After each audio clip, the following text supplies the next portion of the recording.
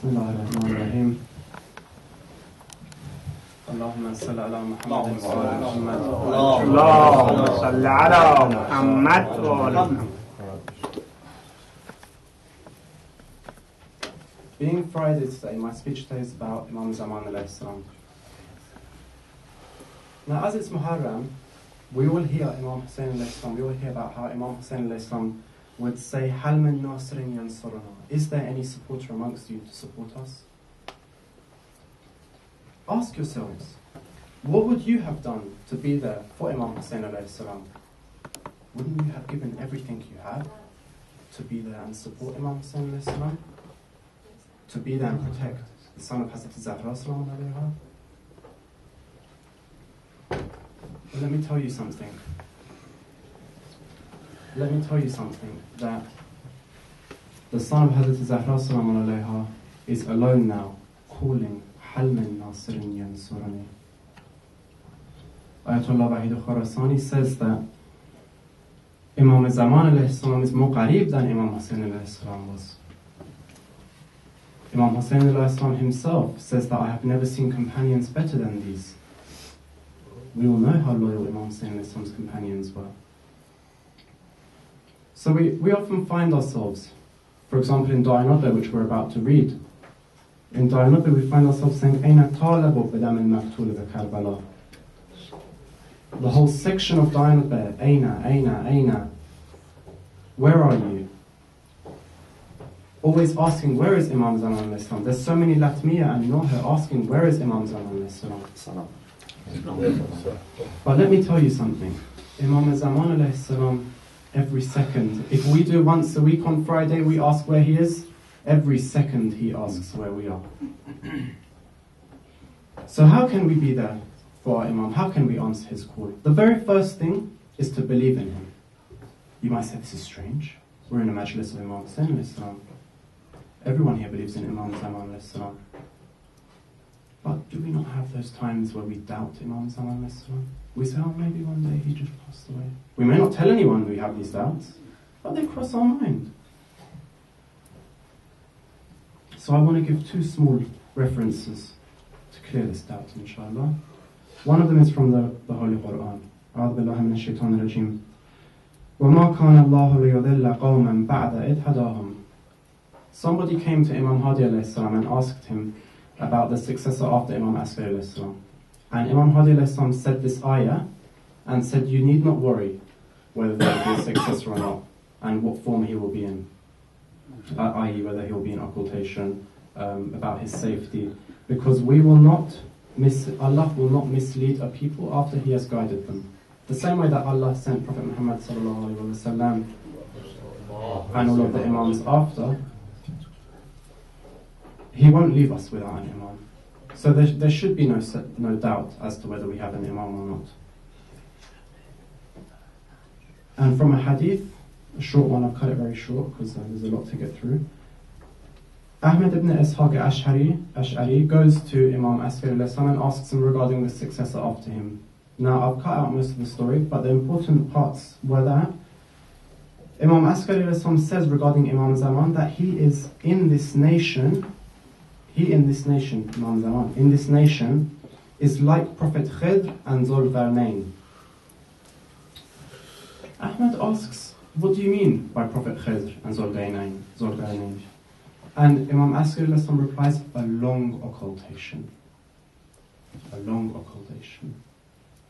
He says, By Allah, he shall be in occultation so long until those that believe in him will turn to disbelief.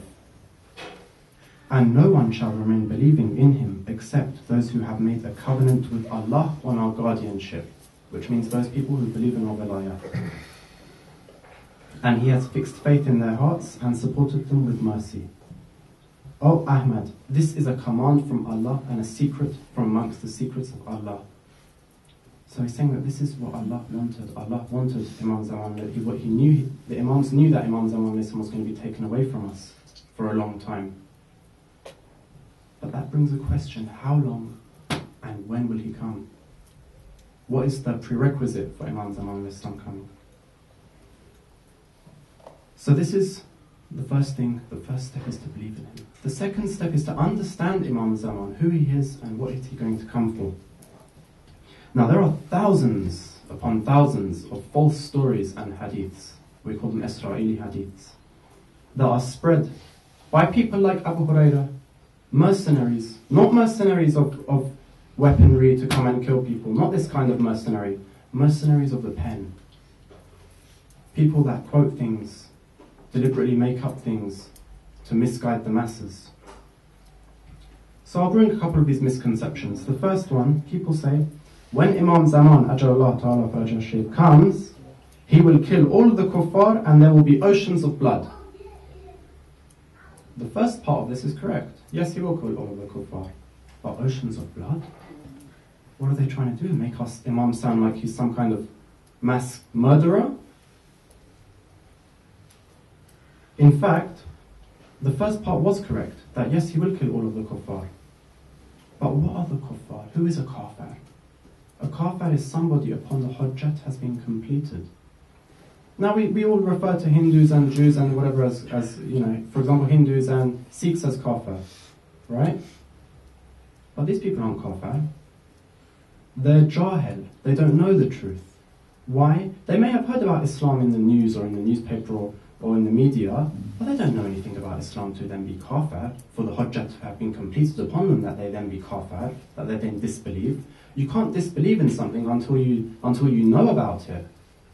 You can be ignorant of it, jahil, but you can't disbelieve in it until you know about it. And there are very few people that know the true Islam that the Prophet Muhammad brought and still disbelieve.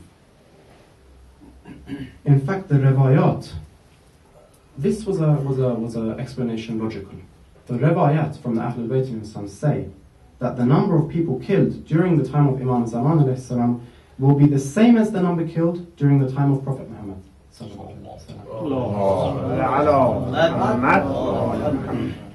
How many is this? Approximately 1,400. Out of 7 billion people in the world, approximately 1,400. Second misconception Imam Zaman needs a large army, and we need to be ready to fight alongside him. We will face many troubles in doing so, and every man, woman, and child must be ready for World War III. Now, this hasn't been said like this, but it's been given in a way that it gives this meaning that everyone must be ready for a big worldwide war. the answer to this is that Imam Sadiq salam, first of all, our Imam Zaman does not need does not need a huge army to be ready for him for him to come. Imam Zaman, according to the Ravayat, Imam Sadiq says, the number of companions and commanders, the number of people that Imam Zaman salam, at the time of his zuhur has, at the time of his zuhur, is 313, the same as the Battle of Badr. This is in Bihar al-Anwar, volume 51, hadith 44, Bihar al-Anwar, volume 52, page 326, and An-Najm al-Thaqib, if anyone wants to go look. So Imam Zaman doesn't need a huge army to come. When he comes, yes, he might select the army for himself. But to come, he doesn't need a huge army. So all of these armies claiming to be the army of Imam Zaman are nothing of the sort. They might be doing some kind of duty, but they're not the army of Imam Zaman. Because Imam Zaman hasn't, hasn't asked for an army. He's asked for 313 true followers. Why only 313? This brings me on to the third misconception. The Edalat and Islam which Imam Zaman brings will be so strict that many of us are not ready for it. This is a very common misconception.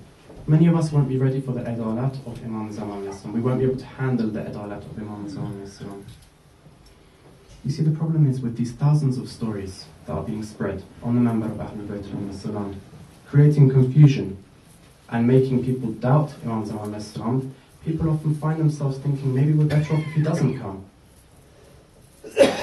people can't pray for the bottom of their heart. Why? Why can't we pray for the bottom of our heart for Imam to come? Why can't we prepare ourselves from the bottom of our heart? Because we're scared that when he comes, he'll take things from us. That's what we're scared of. People think we'll be better off without him. So when we're sitting there saying, Allahumma ajil waliyaka al-faraj, but in the back of our mind we're thinking, hold on, if he comes, he's going to take my house off me, for example, or whatever off me. We're not really praying from the bottom of our heart. That's not dua with ikhlas. Why? Not because we don't want him to come, but because somebody has put something in our mind that's made us mis- misunderstand what Imam Zaman's going to do when he comes. And that's why we can't pray from the bottom of our heart. So we have to know him. Now, in order to know him, we have to learn more about him. I've got three stories. I'll try and cut them very short and simple for you. We've all heard of Sufyani. There's a lot of mysticism, a lot of mystery around this character, Sufyani. Yeah? But the, the general accepted thing is that he will come from Sham, he will rise up, he will first be a soldier and then become a commander and rise up the ranks. And he will kill every single Shia. Everyone he knows is, is a Shia, he'll order for them to be killed. Whether they have the name of Ali, Hassan, Fatima, Hussein, any Shia name, he'll order them to be killed. Whether they be a man, a woman, a child, an old person, a newborn baby, anything, he'll kill them. When Imam Zaman reappears, Sufyani and his army will meet Imam Zaman and his army. And Imam Zaman will obviously overpower him. They'll capture Sufyani. At this point, Sufyani comes to Imam Zaman and says, ببخشید غلط کردم I'm sorry I shouldn't have done that forgive me and yeah he may mean it forgive me I shouldn't have made this mistake but Imam Zaman won't respond to him He'll just turn, turn his head the other way. He won't say a single word. Now we might be thinking Imam Zaman should kill him for all the wrong he's done. But Imam Zaman is so merciful that he won't kill Sufyani. One of Imam Zaman's com- companions in the army will kill Sufyani, but not Imam Zaman himself. You see, like Prophet Muhammad, Rahmatan lil alameen. There is not one place in history where Prophet Muhammad killed someone. Yes, his himself. Yes, his army did. He himself didn't. ببخشید خاطرهای می فرزنده بله بله بله بله خانمتون صدا There is not one place where we see Prophet Muhammad himself with his own hand killed someone. This is Another story. I'll cut it very short. Imam Zaman during his Ghaybat al Kubra, at one point, he had a someone in contact with him. And this man in contact, um, the people knew that this man had contact. And they came to him and they kept saying, okay, you've got contact with Imam Zaman, we want to meet him, tell him we're ready, you know, we're his followers, if he wants to come, we'll stand up with him. So this companion of Imam Zaman goes back to Imam Zaman and tells him. Imam Zaman turns around and says, they're lying. It's rubbish. Don't believe them. The companion says, what do you mean? You know, I see that they're truthful, they mean it, they're, they're doing everything that they can. Some of these are really pious scholars even. And Imam Zaman says, okay, if you insist that these are good followers of me, I respect that, fine. This Shabbat Jum'ah, Thursday night that's coming, call all of them, 40 of them, 40 of the most pious of them, to your house. And I'll meet them there. So he says, okay. He's happy. He goes back and tells the people. He tells all the pious ones, the, the, the best of them. so Shabbat Jum'ah comes. They all come to the house of the companion. They're all dressed up, bringing gifts for Imam, for Imam Zaman Islam. Because they're obviously going to meet their Imam. They've got their questions written down. They're ready. They're prepared. The companion comes down, opens the door, and picks one of them to come in. He takes them upstairs. The man going upstairs is thinking, oh, when I meet the Imam, am I going to kiss his hand? Am I going to bow? What am I going to do? He goes and meets the Imam, and downstairs everyone's listening. What's going on? Trying to hear what was happening. No sound, nothing. but suddenly somebody sees blood from the gutter. They all stand back. What's going on? companion comes down, opens, opens the door, second person come. Instead of this time them fighting to go first, now it's like, oh, you be Hajab Ashma Abal, you know, you go first. So they take the he takes the second person upstairs. Again, a few moments of silence. And blood coming down the. Some of the people faint. The rest of the rest of them run away. The companion comes down to open the door and bring a third person. He sees everybody's gone. Now, what had happened was Imam Zaman is so merciful, so caring, and so kind that he had told his companion, Bring sheep to your house, put some sheep on the roof where, where I'll be meeting the people, and for every companion that I meet, I'd like to do a qurbani out of honor for these followers of mine. This is what Imam Zaman had done. This is how much he respects us. And what did, what did they do? They thought Imam Zaman was a killer. They ran away. The last story is about the idalat of Imam Zaman. And that is that in the, in the ahadith we have Imam Zaman alayhi salam's idalat compared to that of, not his idalat, his ruling will be like that of Prophet Dawood. Prophet Dawood. How was Prophet Dawood ruling? During the time of Prophet Dawood, and this isn't some kind of bedtime story, it might sound like one, but it's, it's, it's real. During the time of Prophet Dawood, they had a, a, a rope from the heavens down to the earth. This is a special rope that Allah had. It's like a, a bounty that Allah had sent. And what this rope would do is if somebody was telling the truth, they could hold on to this rope. But if they were lying, they wouldn't be able to hold on to the rope. That's the, that was the special feature of this rope.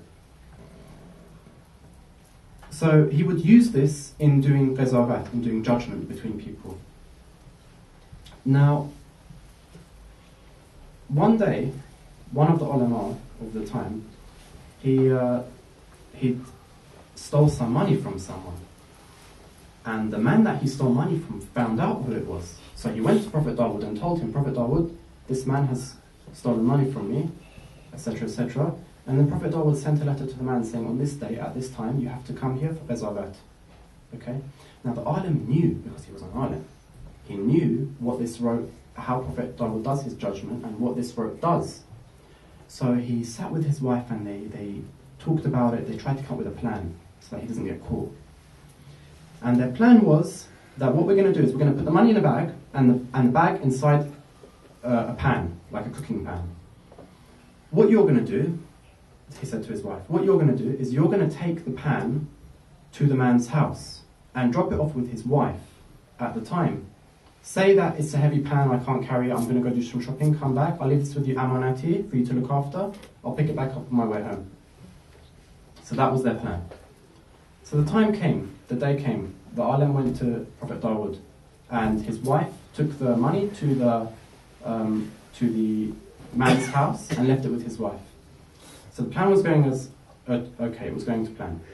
Prophet Dawood asks the man, what, you know, what happened? And the man tells him that, look, this alim stole my money, etc., etc., etc.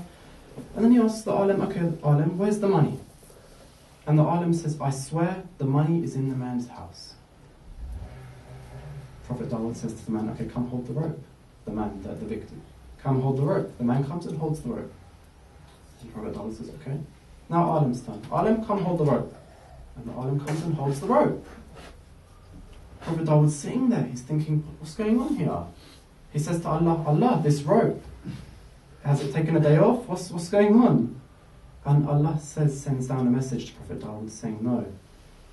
This Alim, Khalaquzah said, he's, he's played a trick on you, he's deceived you. The real, and then he tells Prophet Dawood where the money is and etc. etc. And it was there that this rope vanished. Ghaib. This rope vanished. Allah took the bounty away from the people. Why? Because the people didn't have the liyaqat. The same way that Imam Zaman has been taken away from us. صلوات على محمد وعلى محمد اللهم صل على محمد وآل محمد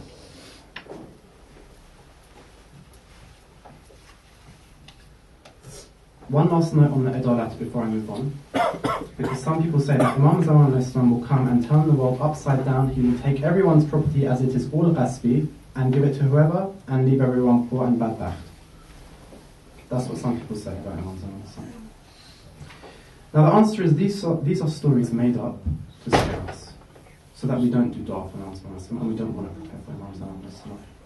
You see, everything in the world belongs to Imam Zaman Islam. And the world has more than enough resources. You think Allah is stingy? That Allah doesn't know how many humans are on the earth? Can't give enough ni'mat for everyone? Of course He can. And He has. But there are people, as we know, who have high positions and take all the money for themselves. We know, like rulers and, I don't know, some corrupt businessmen and, and so on. That take all the, the, the earth's resources for themselves and leave nothing for some people. We see whole countries starving. So Imam Zaman Islam knows exactly how to distribute all of this so that we can all live in luxury and comfortably. And not only that, not only this, that we will live in luxury and comfortably from a, from a um, financial perspective, if, if that's what some people are scared of, but everyone will trust each other, everyone will help each other, and everyone will care for each other. It will be such, as it's stated in the Riwayat, that if a brother, a needy brother, comes to another brother and wants to put his hand in his pocket to take some money, instead of the brother saying, No, it's mine, you know, what are you doing? Get away. He'll bring his pocket forward and say, Take. Like this. If a young girl wants to go out any time of the night, she can, without fear of danger. In fact, not any danger. No one will even look at her, let alone there being danger. This is how Imam, this is the kind of world that Imam Zaman Islam bring.